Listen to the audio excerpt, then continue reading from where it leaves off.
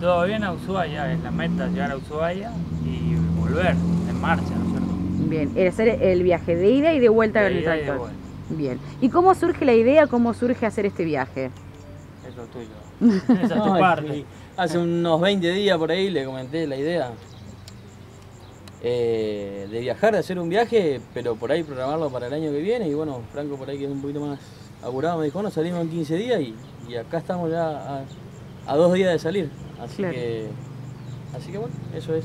Bien. Eh, ¿Nos cuentan un poco las características del tractor? No sé si era de alguno de ustedes, eh, de algún amigo. Sí, el tractor es de Marcelo Boreto, que bueno, lo donó para la ocasión, digamos.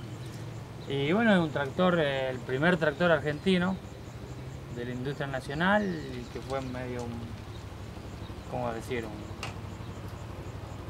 Y el precursor del tractor, eso. claro, y, porque es medio especial, es monocilíndrico, Es un motor grande pero de un solo cilindro, entonces por eso tiene ese ruido característico.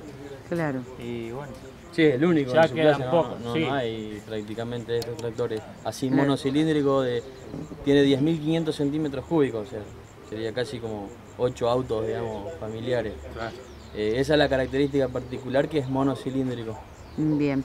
Eh, chicos, si tienen este, planificado hacer este, unas horas por día, ¿cómo están planificando el viaje en cuanto a que, bueno, lo, lo que vemos obviamente, sentaditos y no hay muchas más comodidades, ¿no? sentado y con sombra. Pero sí, la idea es poder llegar a hacer unos 200 kilómetros por día. Tampoco vamos a ir acelerados. eh, para ir, hay que disfrutar un poco del viaje, de los lugares que vamos a cruzar, por el sur sobre todo. Y bueno, Sí, no, no hay ninguna, ninguna Ninguna- carrera, ni, no, no, no. o sea, por ahí hacer esta parte sí, hasta Junín de los Andes más o menos, claro, eh, que es la parte más calurosa y después sí hacerlo relajado. tranquilo, pero de acá hasta Junín le vamos a meter seguramente 200 o más por día.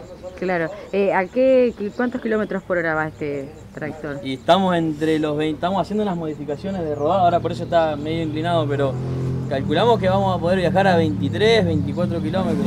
Claro. Así Así que- sí, constante, ¿no? No, no, no, no va a haber mucho para parar, a mirar. sea, acá va a haber que darle para hacer 200 por día. Claro. Eh, ¿Y en cuánto tiempo piensan hacer la travesía? Por ahora disponemos de unos 20 días. 20 de- días. de- de- totales, digamos.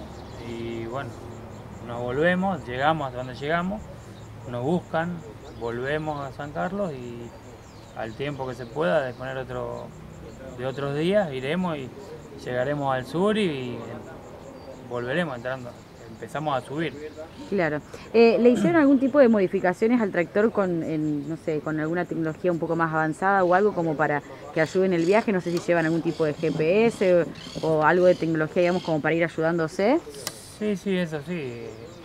Un GPS, como para, más de todo para guardar los trayectos, las Ujú. distancias, el tiempo y demás. Y tenemos un- una tablet, un iPad y bueno, el celular para ir subiendo fotos y demás. Claro, y compartiendo un poco con la familia, Claro, ¿no? Lo que es la, la Eh, travesía. hicimos ahí una, en Facebook hay una, una página que se llama Pampa Argentino, que ahí vamos a ir subiendo fotos a, medida que vayamos teniendo y, y conectividad, que supongo que una buena parte no vamos a tener. No. La Claro. Pampa La, la y- única modificación que le hicimos mecánico es el rodado, para, para poder, eh, por ahí no tanta velocidad, sino más vale que eh, vaya el motor más aliviado. más aliviado, menos vueltas, Claro. revoluciones y que sea más, más placentero, porque más aceleración, más ruido, más vibración, más todo. Claro. Así que bueno, eso fue la única modificación mecánica. Y la cabina. Y la cabina que tenía, sí. bueno, y hay que llevar un poco de provisiones Sí, también. sí, sí, no, y aparte tenemos el, el- el carro atrás que es donde va todo el, el equipaje, la parte de campamento, combustible. Llevamos una moto también de apoyo, Ajá. por las dudas. Eh, y eso es todo.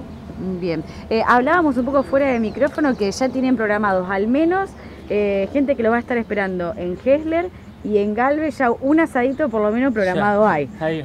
Y en, en Canea de Gómez también, gente de de. Córdoba que nos llamó, sí, que nos esperan con un asado y bueno, supongo que se va a ir sumando gente con esas propuestas, digamos. Ya nos llevan combustible también, esta gente de Córdoba nos, nos ofreció combustible.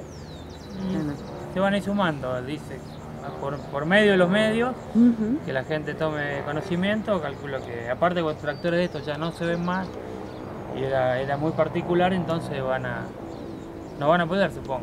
Claro, Porque conocemos gente, de hecho hemos eh, eh, realizado entrevistas de eh, personas que realizan ese tipo de travesías, pero eh, no sé, en casas rodantes, con vehículos mucho más acondicionados, ¿no? Sí, La, Es lo que hablábamos con Franco, que Claro. bueno, de ir en moto, sí, pues, medio que falta la moto, no va a Es más tener. fácil ir, sí. Claro, Claro. camioneta, pero bueno, entonces la idea era hacer un poquito el desafío y a nosotros particularmente nos gusta este tractor Claro.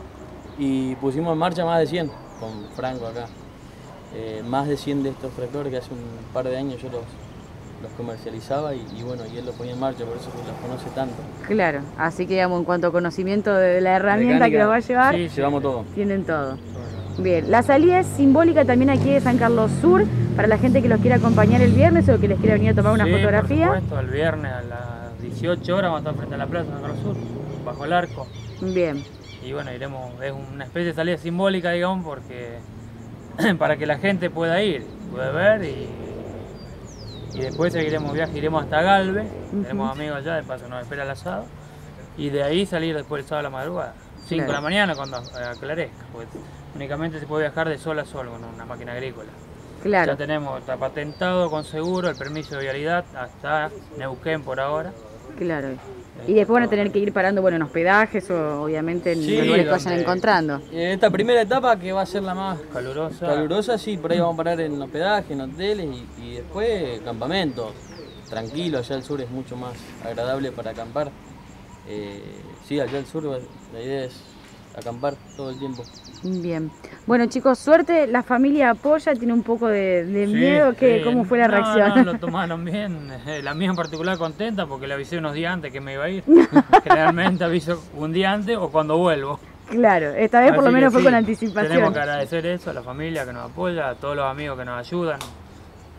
Eh, Facu, mi hijo, Maxi, Mariano, Marcelo que donó el tractor, Boreto, René Martínez que siempre colabora con algo y bueno, hay mucha gente que, y bueno, desde ya le agradecemos. Claro. No queremos olvidarnos de nadie, pero bueno, se sumó los- el padre de Leo, eh, mucha gente que nos da una mano, ya sea trabajando o, o ya nos dieron contactos de más lejos, como para que llamemos y demás, Bien, por cualquier eventualidad o lo que necesitemos. Seguro. Bueno, chicos, suerte y los vamos a ir siguiendo nosotros por las redes sociales, este, por la página. Después, seguramente, al regreso, lo vamos a volver a entrevistar. Bueno, Seguro. Muchas Gracias. gracias. gracias.